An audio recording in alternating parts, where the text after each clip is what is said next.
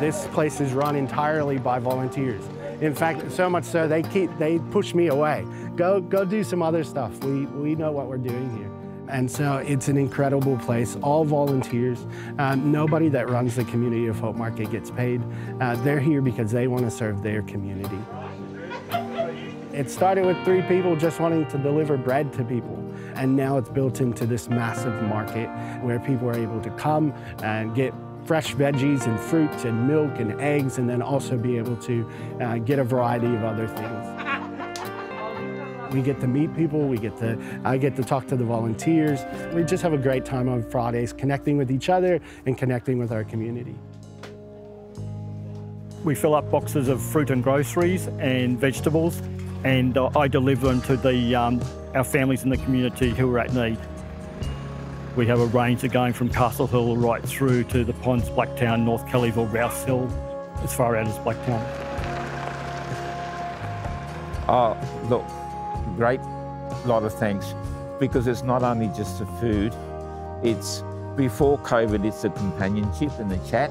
And I always come out for a cup of coffee. and I just spent a stint in hospital.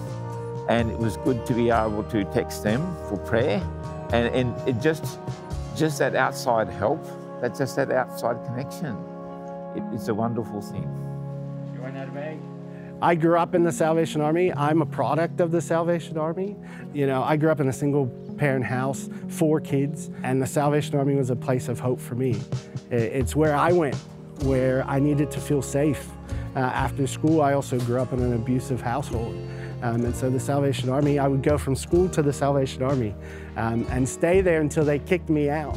And so that's, that's what I want to provide for other people, is just a place of hope, a place of safety, um, and introduce them to Jesus just like the Salvation Army introduced me to Jesus. Oh, all right.